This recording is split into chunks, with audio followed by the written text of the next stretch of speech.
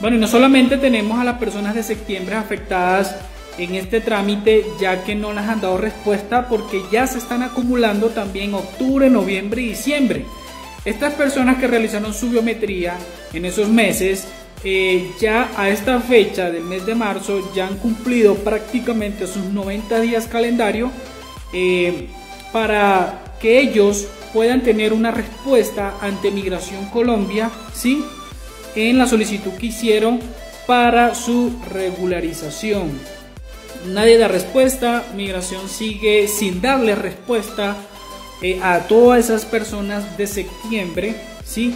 Pues, que deberían de colocar, empezar a colocar esos botones de octubre, noviembre y diciembre también, porque eh, todos tenemos el derecho de poder llenar ese formulario, ¿sí?